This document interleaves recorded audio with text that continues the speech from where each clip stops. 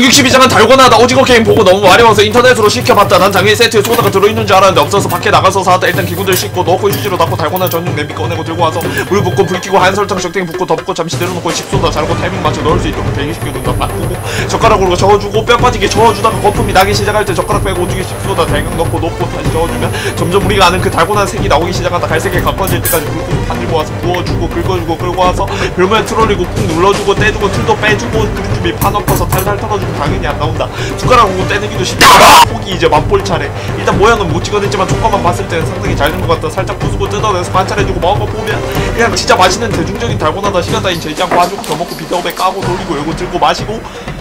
놓으면 피로가 싹 간다 모양 찍는 타이밍만 알아내면 비주얼도 아름다운 달고나를 만에 붙어서 안 떨어지는 거로 살짝 뭐?